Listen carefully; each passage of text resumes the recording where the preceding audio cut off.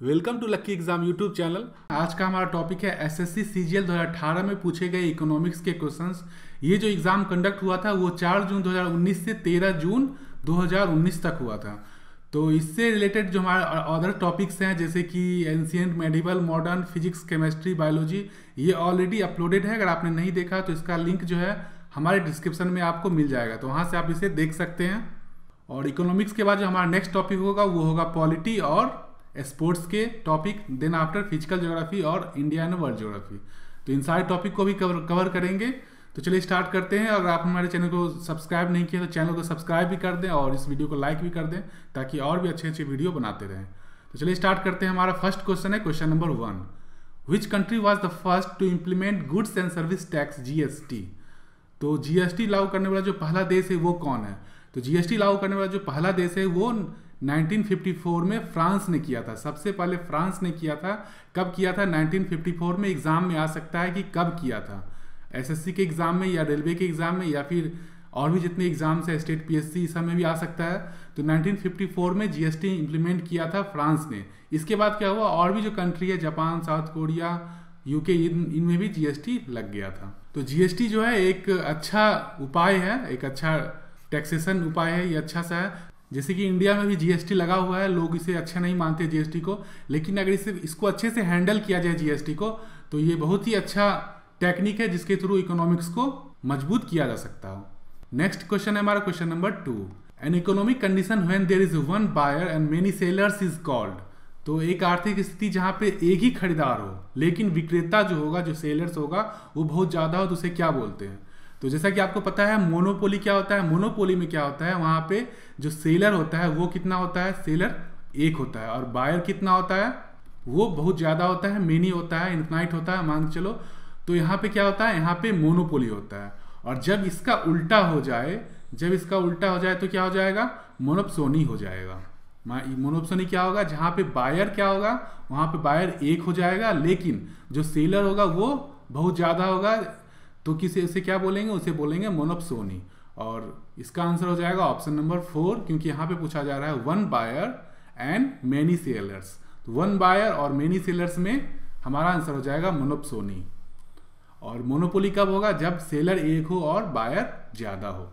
तो ये जो मोनोपोली होता है, ये इम्परफेक्ट मार्केट कंडीशन होता है। इसके अलावा जो मोनोपोली होता है, वो भी एक इम्परफेक्ट मार्केट कंडीशन होता है। एग्ज़ाम में ये भी आ सकता है। कि इम्परफेक्ट मार्केट कंडीशन इनमें से कौन होता है? तो मोनोप्सोनी भी होता है और मोनोपोली जिन दोनों का क्या होता है? इम्परफेक्ट मार्केट कंडीशन भी होता है। नेक्स्ट है हमारा क्वेश्चन नंबर थर्ड तो क्वेश्चन नंबर थर्ड है हमारा what is the name given to the graph that shows all the combination of two communities that a consumer can afford at given market prices and within the particular income level in the economic terms? तो उस graph का नाम बताना है, उस curve का नाम बताना है, जिसमें क्या होता है? जो दो कम्युनिटी होगा जो कंज्यूमर जो है उसे अफोर्ड कर सकता हो और उसके इनकम के अंदर आता हो। तो उसे क्या बोलते हैं? तो ये चार ऑप्शन दिया गया है। तो अगर ये चार ऑप्शन दिया गया है तो समझो कि एग्ज़ाम जो नेक्स्ट एग्ज़ाम आएगा, उसमें से कोई भी एक ऑप्शन उठा के उस पर क्वेश्चन पूछा जा सकता है। तो ये भी हम लोग को देखना है, इन चारों को। तो सबसे पहले डिमांड कर्व जो आपको पता ही होगा, बहुत ही सिंपल सा है। इससे पहले हम लोग ने अपने एक्सप्लेन भी किया है डिमांड कर्व क्या होता है? ये रिलेशन होता है प्राइस और क्वांटिटी के बीच का रिलेशन होता है डिमांड का, बहुत ही सिंपल है। नेक्स्ट है आइसो कॉस्ट लाइन। तो एक होता है हमारा iso cost line. Iso cost line क्या होता है? इसमें क्या होता है कि जो कोई प्रोडक्ट बनता है, उस प्रोडक्ट में जो भी इनपुट है, इनपुट यानी कि जैसे कि कैपिटल हुआ, लेबर हुआ, उस दोनों का जो कॉस्ट होगा वो सेम होना चाहिए।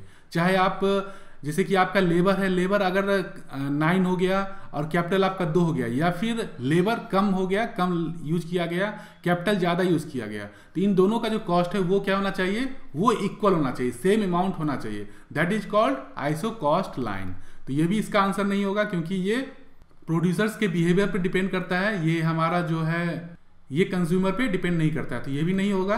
नेक्स्ट हमारा नेक्स्ट क्या है? नेक्स्ट है हमारा सप्लाई कर्व तो सप्लाई कर्व क्या होता है? ये सिंपल सा है। सप्लाई कर्व भी जो होता है, वो रिलेशन होता है प्राइस और क्वांटिटी का। तो प्राइस और क्वांटिटी का जो रिलेशन होता है, उसे बोलते हैं सप्लाई कर्व तो ये भी हमारा कंज्यूमर से रिलेटेड नहीं है।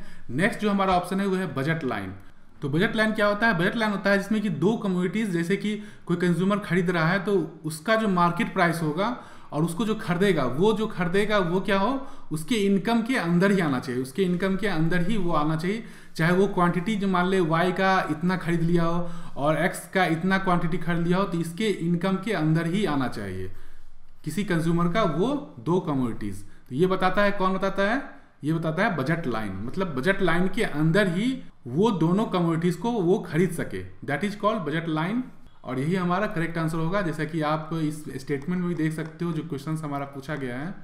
वहाँ पे भी पूछा गया, वहाँ पे भी बोला गया है कि all the combination of two commodities that a consumer can afford at given market price in with in the particular income level in economic terms मतलब दो कम्युनिटी को जो कंज्यूमर खरीदेगा, जो दो प्रोडक्ट को खरीदेगा, वो मार्केट प्राइस के अंदर ही होना चाहिए और उसके इनकम लेवल के अंदर होना चाहिए। उसके बजट लाइन के बजट लाइन के अंदर ही होना चाहिए वो प्रोडक्ट तो ये इसका कहना है तो ये किसका कहना है? ये बजट लाइन का कहना है। तो ये है हमारा आंसर ऑप्शन नंबर फोर और आइसो कॉस्ट लाइन जो इंपॉर्टेंट है, आने वाले एग्ज़ाम में पूछा जा सकता है आइसो कॉस्ट लाइन क्या है। तो आइसो कॉस्ट लाइन जो है, सबसे पहले आपको याद रखना है कि ये प्रोड्यूसर्स बिहेवियर है। जो प्रोड्यूसर्स है, जो कंपनी जो बनाएगा, उस पर डिपेंड करेगा प्रोड्यूसर्स पे डिपेंड करेगा। आइसो कॉस्ट लाइन इसके बाद किस पे डिपेंड करेगा? इसके बाद डिपेंड करेगा कि टोटल इनपुट्स जो होता है, उस टोटल इनपुट्स का जो अमाउंट होगा जो जिससे वो प्रोडक्ट बनेगा, वो टोटल इनपुट्स का अमाउंट जो है वो हमेशा इक्वल होना चाहिए सेम होना चाहिए। That is called iso cost line तो ये भी एग्ज़ाम में, आने वाले एग्ज़ाम के लिए इंपॉर्टेंट है। नेक्स्ट है हमारा question number four question number four है in which year was the term gross happiness index coined by the fourth king of Bhutan Jigme Singye Wangchuck तो जो ग्रॉस हैप्पीनेस इंडेक्स है, किसने क्वाइन किया था? ये एग्ज़ाम में आ सकता है, क्योंकि यहाँ पे पूछा जा रहा है डेट ईयर पूछा जा रहा है। तो ईयर तो 1972 है, जिसमें किसने बताया था? तो भूटान के जो राजा हैं, जिग्मे सिंगे वांगचुक। ये भी इंपॉर्टेंट है, जिग्मे सिंगे वांगचुक ने ग्रॉस हैप्पीनेस इंडेक्स क्वाइन किया था, शब्द दिया था।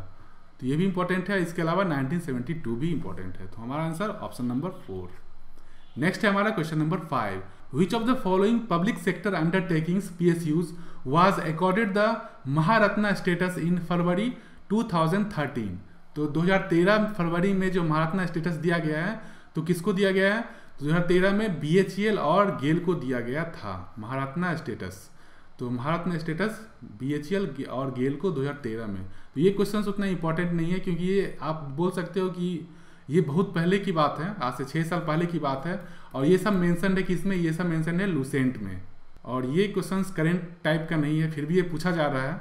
तो खैर, इसका करेक्ट आंसर होगा बी एच ई एल भेल नेक्स्ट हमारा question number six name the first Indian budget carrier to join the International Air Transport Association IATA तो इंटरनेशनल एयर ट्रांसपोर्ट एसोसिएशन जो ज्वाइन किया है, भारतीय बजट वाहक जो सबसे फ़र्स्ट है फ़र्स्ट इंडियन बजट जिसने ज्वाइन किया है, वो है कौन सा? वो है स्पाइस जेट स्पाइस जेट ने आई ए ज्वाइन किया है, जो फ़र्स्ट इंडियन बजट कैरियर है। तो ये इंपॉर्टेंट है कि first budget first Indian budget carrier जो है वो कौन सा है? वो स्पाइस जेट है जिसने आईएटीए को ज्वाइन किया नेक्स्ट क्वेश्चन है हमारा question number seven which of the following economic activities employs the maximum number of people in India तो मैक्सिमम नंबर ऑफ़ पीपल जो इकोनॉमिक एक्टिविटीज़ में है तो इस चार में से आपको पता ही होगा, ये एग्रीकल्चर है, हमारे देश में एग्रीकल्चर सबसे ज़्यादा है।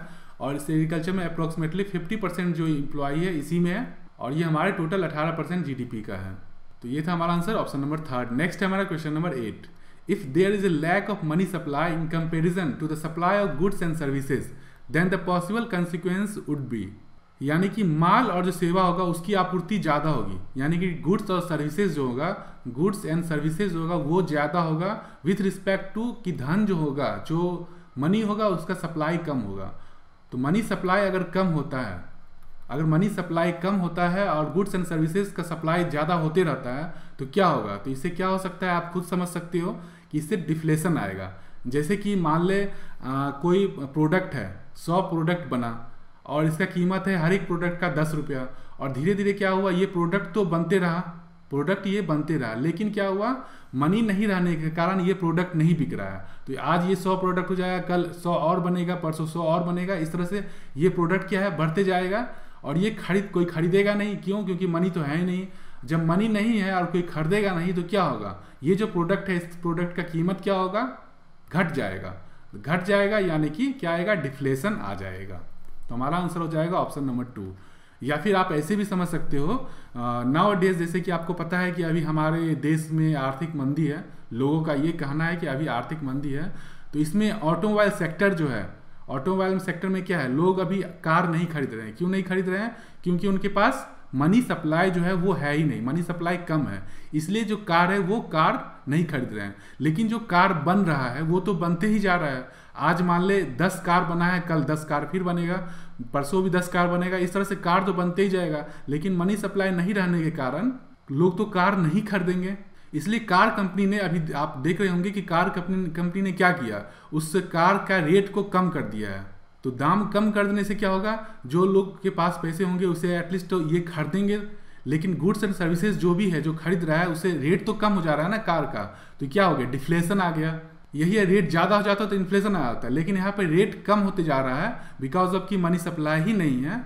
इसीलिए ये क्या हो गया? ये हो गया डिफ्लेशन तो हमारा आंसर हो जाएगा ऑप्शन नंबर टू नेक्स्ट है हमारा question number nine a sustain rise in the general price level in economy is called तो अभी हम लोग ने डिफ्लेशन देखा था, जिसमें प्राइस लेवल कम हो रहा था। क्यों कम हो रहा था? क्योंकि मनी सप्लाई ही नहीं था। तो वहाँ पे क्या हो रहा था? वहाँ पे डिफ्लेशन हो रहा था। लेकिन यहाँ पे क्या है? जो प्राइस लेवल है, वो बढ़ते जा रहा है। प्राइस लेवल जब बढ़ते जाएगा तो वो क्या होगा? वो इन्फ्लेशन हो जाएगा। तो हमारा आंसर हो जाएगा option number third option third is the correct answer next है हमारा question number ten the banking regulation act was pass in India in तो जो बैंकिंग रेगुलेशन एक्ट 1949 जो पहले था क्या? पहले था बैंकिंग कंपनीज़ एक्ट 1949 लेकिन ये पास हुआ था 1949 में बैंकिंग कंपनीज़ एक्ट के नाम से। बाद में 1966 में क्या हुआ? ये बैंकिंग रेगुलेशन एक्ट के नाम से जाना गया 1966 में। लेकिन ये पास हुआ था 1949 में तो यहाँ पे जो आंसर होगा, वो होगा ऑप्शन नंबर वन। और यहाँ पे 1966 कोई ऑप्शन भी नहीं है, इसलिए हमारा आंसर 1949 हो जाएगा। और अगर यहाँ पे क्वेश्चन पूछा जाता कि बैंकिंग कंपनीज़ एक्ट तो 1949 होता, अगर बैंकिंग रेगुलेशन एक्ट पूछा जाता और उन्नीस सौ छियासठ ऑप्शन होता तो हमारा आंसर उन्नीस सौ छियासठ होना चाहिए था, जो करेक्ट आंसर होता, लेकिन यहाँ पे नहीं है। और 49 दिया हुआ है तो जो एक्ट पास हुआ था, वो एक्ट पास हुआ था 49 में। और सिर्फ़ नेम चेंज हो गया था बैंकिंग रेगुलेशन एक्ट उन्नीस सौ छियासठ में। और ये लेकिन पास हुआ था 49 में। तो हमारा करेक्ट आंसर हो जाएगा ऑप्शन नंबर फ़र्स्ट 49 नेक्स्ट हमारा question number 11 what is India's rank in 2019 world happiness report तो वर्ल्ड हैप्पीनेस रिपोर्ट में जो हमेशा नंबर वन आता है, वो इन चार पाँच कंट्री में ही आता है। जो आपको दिख रहा है, ये चार पाँच कंट्री हमेशा ही नंबर वन होते हैं, जिसमें दो हज़ार उन्नीस में फिनलैंड हुआ, कभी फिनलैंड होता है, कभी नॉर्वे भी आता है डेनमार्क भी आता है। तो जनरली फिनलैंड होता है, वो नंबर वन पे ही चल रहा है। तो ये भी आपको याद रखना एग्ज़ाम में पूछा जा सकता है। और इंडिया का रैंकिंग तो आता ही आता है तो इसका जो करेक्ट आंसर होगा, वो होगा second one hundred fortieth rank था एक सौ चालीसवा रैंक था 2019 में। नेक्स्ट है हमारा question number twelve minimum support price MSP is recommended by तो एमएसपी जो है, वो किसके द्वारा रिकमेंड किया जाता है? तो ये एमएसपी जो है, किसके लिए होता है? ये एग्रीकल्चर प्रोडक्ट होता है, उसके लिए यूज़ किया जाता है एमएसपी मिनिमम सपोर्ट प्राइस दिया जाता है एग्रीकल्चर प्रोडक्ट पे। तो कौन देगा? कौन सा कमीशन देगा? तो ये कमीशन देगा commission for agriculture cost and prices option number four is the correct answer next हमारा question number thirteen global business summit 2019 was held in. तो इस तरह के जो क्वेश्चंस है, वो अच्छे खासे क्वेश्चंस पूछे जाते हैं बिज़नेस समिट से रिलेटेड तो अगर आपको इस पे रिलेटेड वीडियो चाहिए, जो सिर्फ़ शिखर सम्मेलन हुआ या फिर उद्घाटन कहाँ पे होता है तो इस तरह की वीडियो आप हमारे डिस्क्रिप्शन में जाके वहाँ पे लिंक में दिया हुआ है करंट अफेयर्स रिलेटेड जिसमें हम लोगों ने बहुत सारे बिज़नेस समिट जो भी समिट है, उसको कवर किया है। तो अगर आपने नहीं देखा तो वो भी देख सकते हैं और इसका लिंक आपको डिस्क्रिप्शन में मिल जाएगा। तो खैर यहाँ पे पूछा जा रहा है कि golden gold global business summit 2019 जो हुआ था, कहाँ पे हुआ था? तो ये न्यू दिल्ली में हुआ था। Option number third. नेक्स्ट है हमारा क्वेश्चन नंबर 14 तो क्वेश्चन नंबर 14 है who founded the Indian Statistical Institute on 17 December 1931 तो 17 दिसंबर 1931 को इंडियन स्टेटिस्टिकल इंस्टीट्यूट आईएसआई किसने फाउंड किया था, किसने स्थापना किया था? तो पीसी महालबोनिस ने पीसी महालनोबिस ने इसकी स्थापना की थी। तो option number first is the correct answer next हमारा question number fifteen Asian Development Bank ADB in its outlook supplement has retained India's growth forecast at 7.3 percent for the current fiscal 2018-19 and 2019-20 के लिए कितना percent रखा है ADB ने? बस ये आप समझ लो। तो ये कितना रखा है? ये रखा है 7.6 इसका करेक्ट आंसर होगा। तो ये है इकोनॉमिक पे बेस्ड जो करंट अफेयर्स है, उससे ये रिलेटेड क्वेश्चन है और ये बहुत ही सिंपल क्वेश्चन है। अगर आप इकोनॉमिक के करंट अफेयर्स को फॉलो करते हो तो उसमें आप एडीबी का हुआ या मोडी का हुआ, ये जो ये जो जो क्रेडिट देता है, जो भी परसेंटेज देता है इंडिया ग्रोथ का, वो पूछा जाता है एग्ज़ाम में। तो ये इंपॉर्टेंट है, इसको आपको याद रखना है, इसका आंसर है सेवन पॉइंट सिक्स जैसे कि नेक्स्ट ईयर आपका एसएससी का एग्ज़ाम होगा 2020 में तो हो सकता है 2020-21 के लिए या पूछा जा सकता है। कि कितना परसेंट एडीबी द्वारा दिया गया है ग्रोथ के लिए। ये था हमारा पंद्रह नंबर क्वेश्चन नेक्स्ट क्वेश्चन है हमारा question number sixteen which of the following was the most important characteristic of India trade throughout the colonial period तो जैसा कि पता है कॉलोनियल पीरियड में क्या था कि इंडिया में जो भी प्रोडक्ट बनता था, उसको एक्सपोर्ट कर दिया जाता था बाहर। जो भी मतलब फ़ूड ग्रेन हुआ क्लोथ हुआ केरोसिन तेल हुआ, जो भी हुआ तो उसको बाहर एक्सपोर्ट कर दिया जाता था। तो एक्सपोर्ट सरप्लस था। और इस एक्सपोर्ट के बदले ऐसा नहीं था कि इंडिया में उसके बदले में गोल्ड आ रहा हो या फिर सिल्वर आ रहा हो। ऐसा कुछ भी नहीं होता था या कैश फ्लो भी नहीं होता था। जितना भी सामान यहाँ पे था, सारे सामान को इंग्लैंड भेज दिया जाता था, जिससे क्या होता था? हमारे इंडिया में जो धन थी उसकी कमी हो जाती थी। तो इसी पे बेस्ड दादा दादा भाई नौरोजी ने ड्रेन ऑफ़ वेल्थ थ्योरी बनाया बताया था 1867 में और उन्होंने इसका मेंशन भी किया था अपनी बुक में। और उनका बुक था poverty and un British rule in India जिसमें उन्होंने बताया था ड्रेन ऑफ़ वेल्थ थ्योरी तो उसमें क्या होता कि एक, एक, उसमें होता था एक्सपोर्ट सरप्लस जिसमें फ़ूड ग्रेन्स क्लोथ्स और केरोसिन और बहुत सारे प्रोडक्ट है उसको बाहर भेजा जाता था और उसके बदले में गोल्ड और सिल्वर या फिर जो कैश होता था वो नहीं आता था इंडिया में। That is called drain of wealth theory तो इसलिए यहाँ पे जो आंसर हो जाएगा, वो हो जाएगा option number four export surplus निर्यात अधिशेष। नेक्स्ट है हमारा question number seventeen in its global economic outlook report Fitch rating cut India's economic growth forecast for the next financial year 2019-20 starting from April 1 to dash from its previous estimate of 7 percent तो मैंने आपको अभी बताया था कि अभी हम लोगों ने देखा भी था एडीबी का। अब ये पूछा जा रहा है फिच रेटिंग्स इसके बाद मूडीज है, उसका अलग है। लेहमन ब्रदर्स जो सॉरी लेहमन बैंक है, उसका अलग है। इस तरह से बहुत सारे ऐसे ऐसे रेटिंग्स आते हैं, जो एग्ज़ाम में आता रहता है। तो यहाँ पूछा जा रहा है अप्रैल वन से कितना हो जाएगा? तो हो जाएगा six point eight percent previously उसने बताया था एस्टिमेट किया था सेवन परसेंट का फिच रेटिंग लेकिन बाद में इसको मॉडिफाई करके बताया सिक्स पॉइंट एट परसेंट तो ये हमारा सेवनटीन नंबर क्वेश्चन नेक्स्ट है हमारा question number eighteen The base financial year of the calculation for the All India Index of Industrial Production is. तो all India index of industrial production आई जो होता है index of industrial production ये basically क्या होता है? ये ग्रोथ जो हमारे इकोनॉमिक सेक्टर में होता है, जो ग्रोथ होता है, जैसे कि मैन्युफैक्चरिंग में, या फिर जो भी सर्विस सेक्टर है, या फिर माइनिंग में इलेक्ट्रिसिटी जो भी है, जो भी ग्रोथ होता है, उस ग्रोथ को उस ईयर में कैलकुलेट करके रखा जाता है, और जो नेक्स्ट ईयर होता है नेक्स्ट ईयर जो ग्रोथ हुआ, इस ग्रोथ से उसको क्या किया जाता है? कंपेयर किया जाता है कि सपोज़ इस यहाँ पे जो ग्रोथ है मान ले फाइव हंड्रेड हुआ है और यहाँ पे जो ग्रोथ हुआ है, वो वन थाउज़ेंड हुआ है तो कितना परसेंट ग्रोथ इंक्रीज हुआ है? तो ये जो ग्रोथ होता है, जिसको रखा जाता है that is called reference growth rate यही डिफरेंस जो होता है, इसको हम लोग बोलते हैं इंडेक्स ऑफ़ इंडस्ट्रियल प्रोडक्शन और उसका बेस बनाया जाता है फाइनेंशियल ईयर का। तो जैसे कि जो बेस ईयर था, पहले 2004-5 था उसको बाद में जो बेस ईयर है, उसको आगे करके 2011-12 किया गया। और ये जो किया गया, कब किया गया था? ये 2017 में किया गया था। तो ये था हमारा हमारा जो आंसर हो जाएगा बेस ईयर जो है हमारा 2011-12 जो पुराना बुक है, वो पुराने बुक में 2004-5 मेंशन होगा। जो गलत है, हमारा जो करेक्ट आंसर हो जाएगा, वो हो जाएगा 2011-12 और ये कब हुआ था? ये 2017 में इसको चेंज किया गया था। तो इसलिए 2017 से पहले का जो बुक होगा, उसमें मेंशन होगा 2004-5 जो गलत है। हमारा नेक्स्ट क्वेश्चन है question number 19 what does the Lorenz curve indicate तो लॉरेंज कर्व क्या इंडिकेट करता है? तो ये इनकम डिस्ट्रीब्यूशन को इंडिकेट करता है. Option two is the correct answer और ये जो लॉरेंज कर्व हुआ या फिर जो हमारा गिन्नी कॉफिशियंट हुआ, इस पे जो है एसएससी अच्छे खासे क्वेश्चंस पूछते हैं, क्योंकि ये एसएससी का फेवरेट टॉपिक है. लॉरेंज कर्व हुआ, गिन्नी कॉफिशियंट हुआ, इस तरह के जो वर्ड हैं इस पे। तो ये बहुत ही सिंपल सा क्वेश्चन है और ये प्रीवियसली बहुत बार पूछा जा चुका है एसएससी में। तो इसे आप याद कर लें, आने वाले एग्ज़ाम के लिए बहुत ही इंपॉर्टेंट है।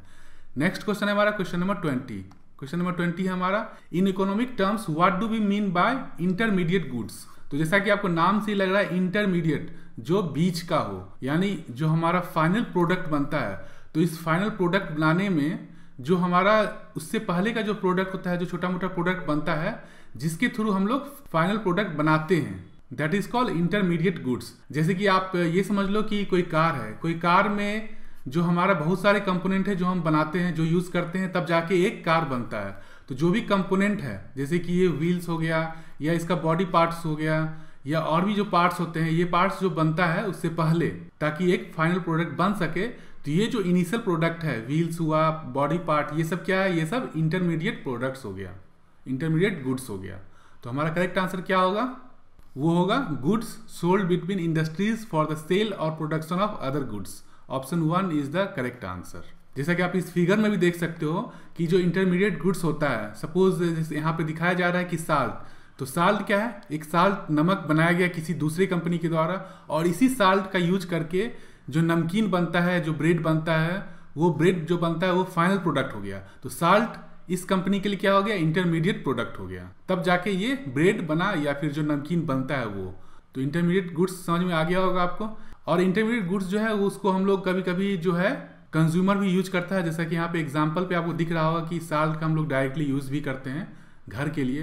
तो इंटरमीडिएट गुड्स जो है, वो घर में भी यूज़ कर सकते हैं और जो कंपनी के लिए जो इंटरमीडिएट प्रोडक्ट्स है, ताकि फाइनल प्रोडक्ट्स बन सके, उसके लिए भी यूज़ करते हैं। तो ये था हमारा इंटरमीडिएट गुड्स नेक्स्ट क्वेश्चन है हमारा question number twenty one the demand for a community or service which is a consequence of the demand for something else is called तो जैसा कि आपको पता है डिमांड जैसे कि एक डायरेक्ट डिमांड है। डायरेक्ट डिमांड यानी कि जो कंज्यूमर्स गुड्स होता है, जो डायरेक्ट यूज़ करते हैं हम लोग that is called direct demand consumer goods जो होता है वो डायरेक्ट या फिर इसे बोलते हैं ऑटोनोमस डिमांड भी इसे बोलते हैं। एक होता है कंपोजिट डिमांड तो कंपोजिट डिमांड क्या होता है? किसी एक प्रोडक्ट से जो हम लोग तरह तरह के जो प्रोडक्ट बनाते हैं तो जो तरह तरह के प्रोडक्ट बनाए that is called composite demand जैसे कि मान ले आपका दूध है मिल्क है तो इस मिल्क से हम लोग क्या क्या बना सकते हैं? इस मिल्क से बटर बनता है, दही बनता है चीज़ बनता है, और जो स्वीट्स बनता है या जो भी इसका प्रोडक्ट बनता है इस मिल्क से। तो ये जो प्रोडक्ट हो गया, ये हो गया कंपोजिट डिमांड और इसमें ये हो सकता है कि सपोज़ बटर का अगर डिमांड ज़्यादा हो गया तो ऑब्वियसली है कि बाकी का डिमांड क्या हो जाएगा? बाकी का डिमांड तो रहेगा लेकिन वहाँ पे सप्लाई कम हो जाएगा। सपोज़ बटर का डिमांड बढ़ गया तो ज़्यादा मिल्क जो है इस बटर को बनाने में लग जाएगा। तो ऑब्वियसली है कि बा, बाकी का जो प्रोडक्ट है उसको उसका जो सप्लाई होगा वो कम हो जाएगा।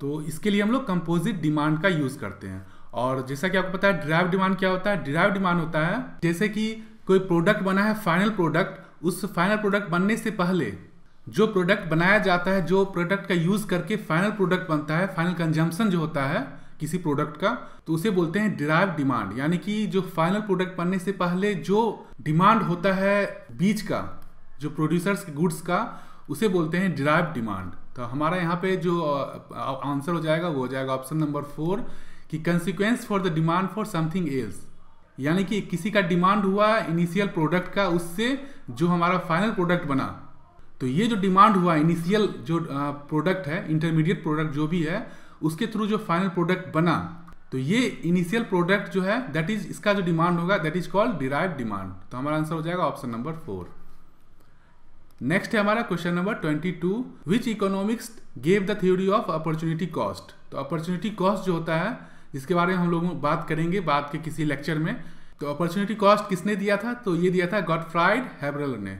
तो option four is the correct answer Gottfried Haberler ने इसे अपॉर्चुनिटी कॉस्ट नामक थ्योरी दिया था।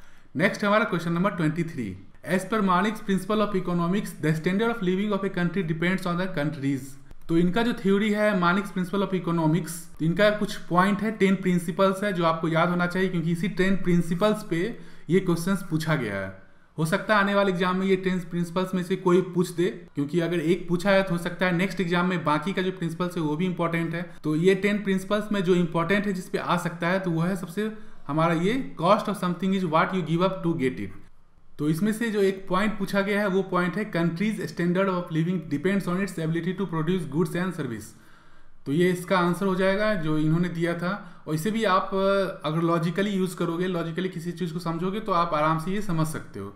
जैसे कि price rises when the government prints too much money तो ये सिंपल सा है, जब भी गवर्नमेंट ज़्यादा मनी प्रिंट करेगा तो ऑब्वियसली कि प्राइस भी उसका इंक्रीज करेगा।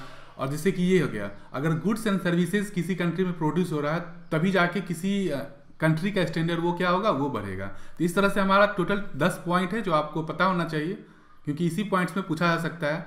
तो यहाँ पे पूछा जा रहा है कि the standard of living of country depends on the country's तो क्या होगा? जैसा कि आपको यहाँ ऑप्शन दिख रहा है कि किसी कंट्री का जो स्टैंडर्ड है लिविंग स्टैंडर्ड वो तभी बढ़ेगा जब वहाँ पे उस कंट्री में गुड्स और सर्विस जो होगा वो प्रोड्यूस होगा। गुड्स एंड सर्विस प्रोड्यूस होगा तभी तो वो बिकेगा, तभी जाके उनके पास पैसे होंगे और वो, उनका जो स्टैंडर्ड ऑफ़ लिविंग है वो बढ़ेगा। तो यही हमारा करेक्ट आंसर होगा। और जैसे कि गवर्नमेंट पॉलिसी से कुछ नहीं होता जब तक वहाँ पे गुड्स और सर्विस प्रोड्यूस नहीं होगा तो। गवर्नमेंट पॉलिसी से कोई मतलब ही नहीं है। और नॉमिनल वेजेस या फिर एवरेज वेजेस से भी कोई मतलब नहीं है। क्योंकि अगर गुड्स एंड सर्विसेज़ ज़्यादा मात्रा में नहीं होगा तो फिर क्या होगा? कोई फ़ायदा नहीं है कि वेज ज़्यादा भी रहे, कम भी रहे उससे कोई मतलब नहीं है। तो हमारा करेक्ट आंसर होगा ऑप्शन नंबर फोर नेक्स्ट है हमारा question number twenty four when the output is equal to zero the variable cost is तो जैसे कि किसी कंपनी में दो होता है, एक वेरिएबल कॉस्ट होता है, एक फिक्स्ड कॉस्ट होता है। ठीक है? दो कॉस्ट होता है, एक फिक्स्ड कॉस्ट एक वेरिएबल कॉस्ट तो जो फिक्स्ड कॉस्ट है वो क्या होता है? वो होता है कि मान ले कोई प्रोडक्ट बना ए तो इस ए प्रोडक्ट को बनने में जो भी इसमें मटेरियल लगा, जो भी कॉस्ट लगा तो इस मटेरियल को बनने में जो भी मान ले इसमें जो कॉस्ट लगा, इसका कॉस्ट इसका कॉस्ट ये सारा कॉस्ट जोड़ के जो होता है that is called fixed cost और इसके बाद जो ये आउटपुट बना तो ये आउटपुट बनने के बाद जो इसका कॉस्ट हुआ that is called variable cost output बनने के बाद जो कॉस्ट हुआ इस ए प्रोडक्ट का, ये हो गया हमारा वेरिएबल कॉस्ट तो ये पूछ रहा है कि अगर आउटपुट ज़ीरो हो, अगर आउटपुट ही ज़ीरो होगा तो वेरिएबल कॉस्ट क्या होगा? ये भी ज़ीरो हो जाएगा क्योंकि वेरिएबल कॉस्ट डिपेंड करता है आउटपुट पे, ठीक है? और जो फिक्स्ड कॉस्ट है कॉस्ट है वो आउटपुट पे डिपेंड नहीं करता है। फिक्स्ड कॉस्ट जो होता है, जो इनपुट है, उस पर डिपेंड करता है। तो इसलिए वेरिएबल कॉस्ट क्या हो जाएगा? वो हो जाएगा zero option number two is the correct answer जैसे कि आप एग्ज़ाम्पल भी देख सकते हो मान ली कि कोई कार बनता है, कोई कार बना, उस कार में बहुत सारा जो कंपोनेंट है, वो यूज़ किया गया। तो ये जो कंपोनेंट यूज़ किया गया, ये तो फिक्स्ड कॉस्ट फिक्स्ड कॉस्ट हो गया। और ये कार बनने के बाद सपोज़ ये कार बन गया, और कार बनने के बाद कार चला ही नहीं, क्यों नहीं चला? क्योंकि ये टूट गया या फूट गया, या फिर किसी कारण बस ये खराब हो गया, या मतलब बेकार हो गया। तो बेकार हो गया मतलब क्या हो गया? जो आउटपुट इससे आया, वो तो ज़ीरो हो गया ना। क्योंकि इस कार का कोई यूज़ ही नहीं है तो ये ज़ीरो हो गया। तो वेरिएबल कॉस्ट क्या हो गया? वेरिएबल कॉस्ट हमारा ज़ीरो हो जाएगा। जबकि फिक्स्ड कॉस्ट तो हमेशा रहेगा। तो ये हमेशा क्या रहेगा? जो रॉ मटेरियल का जो कॉस्ट होगा, वो हो जाएगा। तो यहाँ पूछा जा रहा है वेरिएबल कॉस्ट आउटपुट अगर ज़ीरो है तो क्या होगा? तो ये हो जाएगा zero option two is the correct answer next हमारा question number twenty five the interest rate charge by banks on short term loans to their largest most most secure and most creditworthy customer is called तो जो interest rate दिया जाता है bank के द्वारा जो लिया जाता है interest rate on short term loans किसको, जो सबसे अच्छा कस्टमर होता है वो, जो सबसे अच्छा कस्टमर होता है, उससे जो इंटरेस्ट रेट लिया जाता है शॉर्ट टर्म लोन्स के लिए तो उसे क्या बोलते हैं? तो उसे बोलते हैं prime lending rate option one is the correct answer prime lending rate मतलब जो उस बैंक का जो सबसे अच्छा कस्टमर है, उस कस्टमर से जो इंटरेस्ट रेट लिया जाता है that is called prime lending rate option one is the correct answer next हमारा question number twenty six cash reserve ratio C R R is calculated as a percentage of each banks तो जो cash reserve ratio होता है नगद आरक्षी अनुपात की गणना प्रत्येक बैंक के कि, किससे होता है? जो परसेंटेज लिया जाता है जो परसेंटेज आरबीआई के साथ रहता है मेंटेन करना पड़ता है आरबीआई के साथ। आरबीआई के साथ कुछ परसेंटेज मेंटेन करना पड़ता है सारे बैंकों को। तो ये जो सीआरआर के थ्रू होता है तो सी कितना परसेंट होता है? और क्या होता है? तो वो होता है net demand and time liabilities जो भी डिमांड डिपॉजिट जो भी बैंक के पास है या फिर जो लॉन्ग टर्म जो उनके पास एफडी हो गया, ये सब टाइम लाइबिलिटीज़ ये सब मिला के इसका जो चार परसेंट होगा, वो चार परसेंट जो है आरबीआई के साथ मेंटेन्ड होगा। तो यही पूछा जा रहा है सीआरआर की गणना जो होता है प्रत्येक बैंक के net demand and time liabilities के प्रतिशत के रूप में की जाती है। तो इसका आंसर हो जाएगा ऑप्शन नंबर टू और ये जनरली कितना होता है? ये होता है चार परसेंट। नेक्स्ट है हमारा question number twenty seven the UN's economic and social council elected dash to the eighteen member committee C E S C R for the Asia Pacific seat in 2018 United Nations economic and social council elected dash to the eighteen member तो कौन है वो? तो वो है प्रीति सरन प्रीति सरन को को C S C are के लिए चुना गया है, जो एशिया पैसिफिक सीट होगा, उसके लिए चुना गया है। किसके द्वारा चुना गया है? यूनाइटेड नेशन का इकोनॉमिक एंड सोशल काउंसिल के द्वारा चुना गया है। तो यह है प्रीति शरण ये एक करंट अफेयर्स क्वेश्चन है। नेक्स्ट क्वेश्चन है हमारा question number twenty eight a substantial increase in capital expenditure or revenue deficit leads to तो जो इंक्रीज होगा कैपिटल एक्सपेंडिचर में, यानी कि पूंजीगत व्यय में जो इंक्रीमेंट होगा, या फिर जो रेवेन्यू डिफिसिट यानी कि राजस्व घाटे में जो इंक्रीमेंट होगा, उसके कारण ये कहाँ की ओर ले जाएगा? तो राजस्व घाटे में इंक्रीज होगा तो ये जो है फ़िज़िकल डिफिसिट राजकोषीय घाटा की तरफ़ जाएगा। तो हमारा आंसर हो जाएगा ऑप्शन नंबर टू और इस राजकोषीय घाटा में जो बोरोइंग्स होता है, वो इंक्लूड नहीं होता है। अगर बोरोइंग्स इंक्लूड हो जाएगा तो that is called budget deficit जो हम लोग आगे भी देखेंगे एक क्वेश्चन में। इसके अलावा जो प्राइमरी डिफिसिट क्या होता है? प्राइमरी डिफिसिट होता है जो फ़िज़िकल डिफिसिट हो गया इस साल का करेंट ईयर का, और उसमें जो इंटरेस्ट पेमेंट हुआ लास्ट ईयर जो बोरोइंग जो भी लिया गया था, उस पर जो इंटरेस्ट आया, उसके इंटरेस्ट के जो पेमेंट हुआ, वो वो माइनस करने से जो बचेगा, उसे को, उसे बोलेंगे प्राइमरी डिफिसिट और यहाँ पे जो आंसर हो जाएगा option number two fiscal deficit अगर कैपिटल एक्सपेंडिचर इंक्रीज करेगा या रेवेन्यू डिफिसिट इंक्रीज करेगा तो ये कहाँ की ओर ले जाएगा? फ़िज़िकल डिफिसिट की ओर जाएगा। Option two is the correct answer next है हमारा question number twenty nine when the fiscal deficit is high what happens to prices तो जब भी फ़िज़िकल डिफिसिट हाई रहेगा तो प्राइस में क्या अंतर आएगा? तो प्राइस जो होगा, उसमें कोई डायरेक्ट इम्पैक्ट नहीं होगा, ऐसा कोई रिलेशन नहीं है। इकोनॉमी में जो ये बताए कि फ़िज़िकल डिफिसिट और प्राइस में कोई रिलेशन भी है। यानी कि अगर फ़िज़िकल डिफिसिट हाई है तो प्राइस बढ़ेगा या घटेगा, ऐसा कुछ कहीं भी नहीं लिखा हुआ है, कहीं भी मेंशन नहीं है। लेकिन जनरली क्या होता है, जब भी फ़िज़िकल डिफिसिट बढ़ता है तो जो गवर्नमेंट होता है वो सेंट्रल बैंक यानी कि आरबीआई से मदद लेता है और आरबीआई न्यू करेंसी छापता है, जिसके कारण जो इन्फ्लेंसरी प्रेशर है, जो इन्फ्लेशन है वो उस पर दबाव पड़ता है, वो बढ़ जाता है। ऐसा होता है और नहीं भी हो सकता है। इसीलिए कोई डायरेक्ट इम्पैक्ट नहीं होता है प्राइस पे। तो हमारा आंसर हो जाएगा ऑप्शन नंबर टू तो जनरली क्या होता है, जो इन्फ्लेशन है वो बढ़ता है, लेकिन ऐसा कोई कंफर्म नहीं है कि वो बढ़ेगा ही बढ़ेगा, ऐसा कहीं मेंशन नहीं है। इसलिए there is no direct impact on prices होगा आंसर नेक्स्ट हमारा question number thirty what is the value of all tangible resources such as raw materials labor that are used in the production process called called?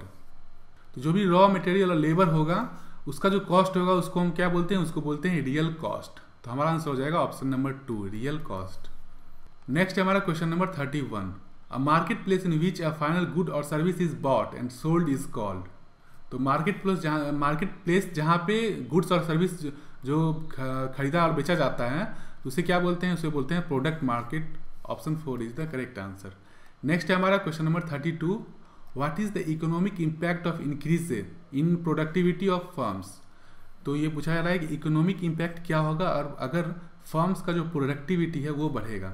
तो दो term होता है, एक होता है production और एक होता है प्रोडक्टिविटी प्रोडक्शन अगर इंक्रीज कर रहा है तो इसका मतलब ये हुआ कि वहाँ पे जो भी इनपुट है वो वो इनपुट दिया जा रहा है, तभी जाके प्रोडक्शन इंक्रीज करेगा। आउटपुट भी उतना ही होगा। अगर इनपुट ज़्यादा देंगे, तभी आउटपुट ज़्यादा होगा।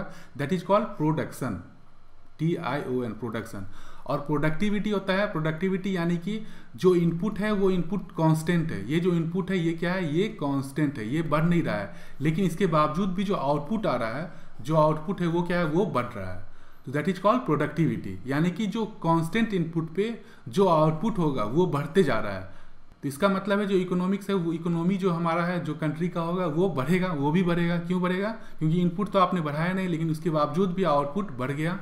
तो दैट इज़ कॉल्ड इकोनॉमी भी क्या होगा? वो भी इंक्रीज करेगा, वो भी बढ़ेगा। यानी कि जो जीडीपी होगा, जो ग्रोस डोमेस्टिक प्रोडक्ट होगा, वो जीडीपी भी क्या होगा? वो भी इंक्रीज करेगा। तो हमारा आंसर हो जाएगा option number four increase in gross domestic product क्यों? क्योंकि यहाँ पे प्रोडक्टिविटी बढ़ा है।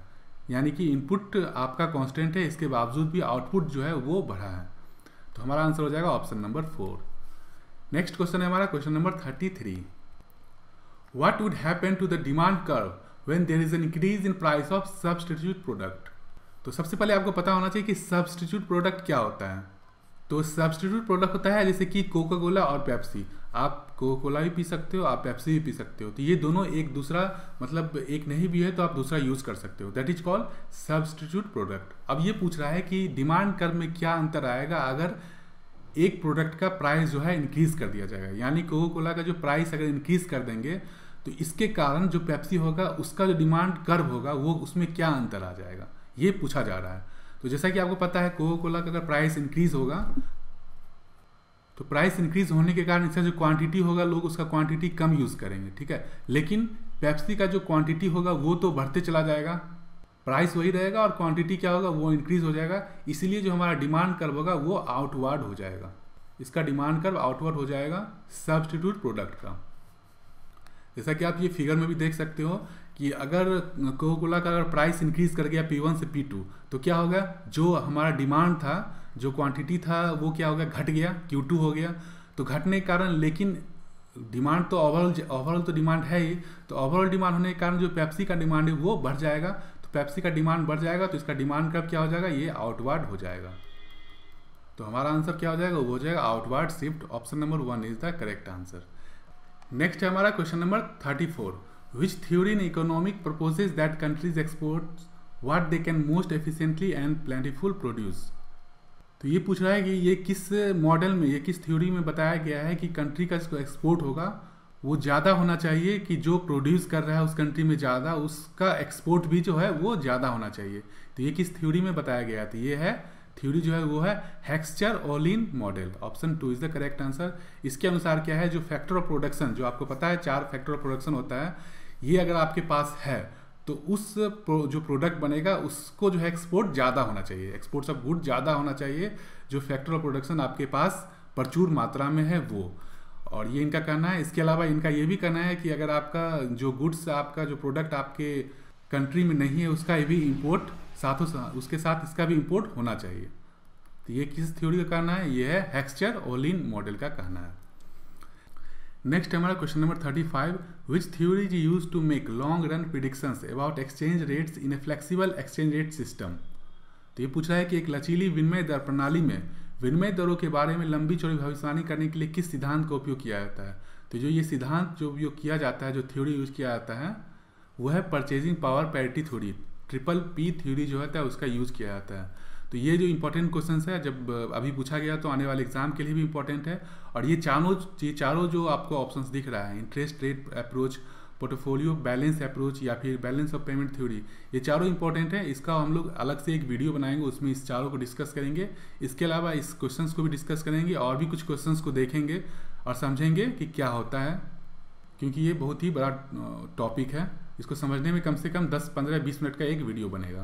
तो वहाँ पे देखेंगे इस क्वेश्चन को और इसके अलावा और भी क्वेश्चन को देखेंगे इस पे बेस्ड तो ये था, खैर, इसका जो करेक्ट आंसर है वो है purchasing power parity theory next है हमारा क्वेश्चन नंबर थर्टी सिक्स जो हमारा लास्ट क्वेश्चन है thirty six question number thirty six जो लास्ट क्वेश्चन है a dash occurs when a government total expenditures exceed the revenue that it generates excluding money from borrowings तो ये पूछ रहा है कि डैश अकर्स तो क्या होगा? तो जो हमारा फ़िज़िकल डिफिसिट होगा जब गवर्नमेंट का टोटल एक्सपेंडिचर जो है वो एक्सीड करेगा रेवेन्यू से। जो टोटल एक्सपेंडिचर वो ज़्यादा होगा और रेवेन्यू क्या है? वो कम होगा। रेवेन्यू कम होगा और जो एक्सपेंडिचर वो बढ़ेगा। यानी कि एक्सपेंडिचर बढ़ेगा और रेवेन्यू हमारा जो होगा वो कम होगा। तो इस, ये जो डिफरेंस होगा that is called fiscal deficit और ये जो है, इसमें से जो बोरोइंग्स लिया जाएगा, वो हटा के excluding money from borrowings from RBI और सम अदर इंस्टीट्यूट जहाँ से हम लोग बोरोइंग लेके करते हैं। जब ये बोरोइंग ले लेते हैं, जब किसी से उधार ले लेते हैं आरबीआई से, तब that is called budget deficit लेकिन यहाँ पे पूछा जा रहा है एक्सक्लूडिंग मनी फ्रॉम बोरोइंग्स तो एक्सक्लूडिंग है तो हमारा आंसर हो जाएगा फ़िज़िकल डिफिसिट अगर ये इंक्लूडिंग होता, अगर यहाँ पे ये इंक्लूडिंग होता इंक्लूडिंग मनी फ्रॉम बोरोइंग्स तब ये हो जाता है बजटरी डिफिसिट ठीक है? लेकिन यहाँ पे एक्सक्लूडिंग है, इसलिए हमारा आंसर हो जाएगा फ़िज़िकल डिफिसिट जैसा कि आप इस एग्ज़ाम्पल में भी देख सकते हो कि जो रेवेन्यू रेसिप्ट हो गया, वो हो गया हमारा इतना। इसके अलावा जो बोरिंग्स लिया गया है, वो कितना लिया गया है? ये है हमारा। और एक्सपेंडिचर कितना हुआ? एक्सपेंडिचर इतना हुआ और जो टोटल रिसिप्ट है, वो कितना हो गया? वो भी इतना हो गया। तो total receipt minus total expenditure जो होगा, वही हमारा बजट डिफिसिट होगा और ये नील होता है। और जो फ़िज़िकल डिफिसिट क्या होगा? फ़िज़िकल डिफिसिट में जो बोरोइंग्स होते हैं, वो ऐड नहीं होते हैं। That is called fiscal deficit और ये फ़िज़िकल डिफिसिट हो जाता है। और जितना फ़िज़िकल डिफिसिट होता है, उतना ऐड करने पे क्या होता है? वो हो जाता है बजट डिफिसिट तो ये था हमारा टोटल हम लोगों ने 36 क्वेश्चंस को कवर किया। तो अगर आपको कोई कन्फ्यूज़न हो तो आप हमारे कमेंट में पूछ सकते हैं। कि कोई कन्फ्यूज़न हो तो उसको हम रिप्लाई भी करेंगे। और इसके अलावा बाकी टॉपिक जो हमारा ऑलरेडी अपलोडेड है, अगर आपने नहीं देखा तो वो भी देख सकते हैं। वो हमारा ancient history medieval history modern history और साइंस की जो भी टॉपिक है, वो भी कवर हो गया। नेक्स्ट टॉपिक जो हमारा वो है पॉलिटी का, वो भी देख लेंगे। इसके अलावा ज्योग्राफी स्पोर्ट्स और सारे टॉपिक को खत्म करेंगे। तो मिलते हैं नेक्स्ट टॉपिक में और प्लीज़ हमारे चैनल को लाइक कर दें शेयर कर दें और सब्सक्राइब कर दें ताकि ऐसा ऐसा वीडियो और भी लाते रहें।